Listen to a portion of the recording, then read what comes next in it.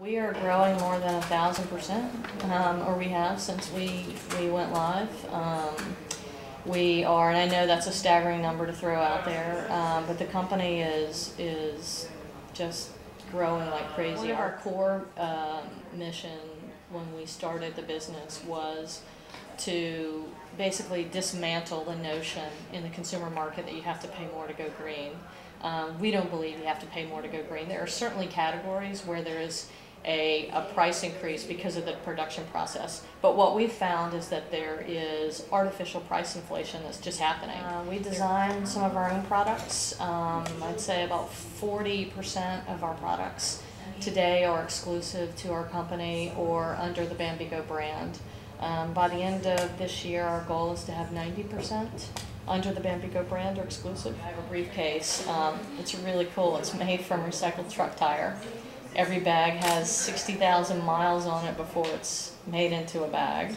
Um, the strap is a seat belt, a recycled seat belt. Um, it's a great briefcase to carry. There's no reason why we can't produce that here in Maryland um, versus going to Colorado to buy that product. Um, so we're looking at ways to reduce um, the supply chain and the carbon footprint of our products. And Maryland is a huge biomass state. There's a lot of industry here. So there's a lot of byproduct um, from industry production.